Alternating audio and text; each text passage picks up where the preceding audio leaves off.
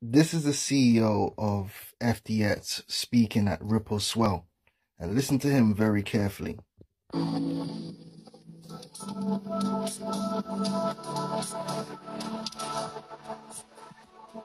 I do believe that there will be, you know, continued multiple chains, but I don't sort of envision that there are going to be 58 chains, all of which have extremely heavy global usage, and everyone is sort of flipping a coin between, you know, or, or rolling a 58 sided die every time they want to launch a project, or or that people like, oh, you want chain number 38 because you're building in this sector.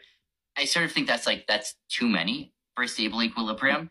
And and, and so I'm sort of imagining like, you know, four is like more like the number of chains we're likely to see get like really significant adoption. And then I don't know necessarily what four of those will be, but I, I think it's more likely to be single digits than double digits. Um, and you know, I think that basically there's just huge network effects from being on the same chain.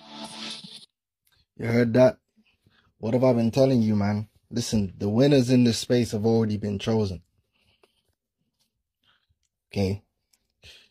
It's going to be four or five chains outside of the ISO 20022 tokens that are really going to be utilized for this new system that's being brought in, this fourth industrial revolution. You don't need 3,000 cryptocurrencies, man, or 4,000 to get the job done.